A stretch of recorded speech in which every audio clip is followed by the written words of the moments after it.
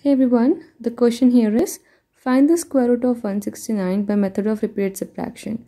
So we're going to subtract 169 by the odd number. So the first number is 1.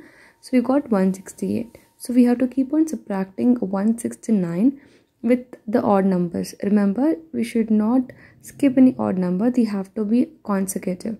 So we got 168 minus 3, 165. Next odd is 5. So 165 minus 5 is 160.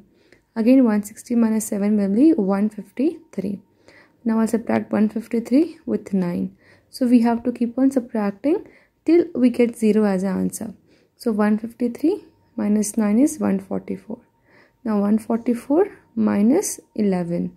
So this will gonna give us 133. Next 133 minus 13. So this is gonna give us 120. Next 120 minus 15 so this is going to give us 105 next 105 minus 17 we're going to do. So when you subtract this you will get the answer 88 now 88 minus 19 so this is equal to 69 next 69 minus 21 so this is 50 sorry this is uh, 48 will get here. Next.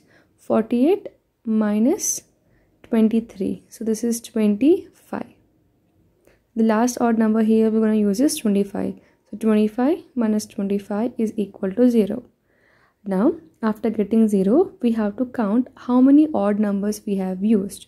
So when you count it so we are going to get total 13 odd numbers. So we have used 13 odd numbers and we got the answer 0 at the end. So the square root of 169 will become 13. So it's completely how many odd numbers we have used. That will be the square root of given number. So here we have used 13 odd numbers and we subtracted. We got the square root.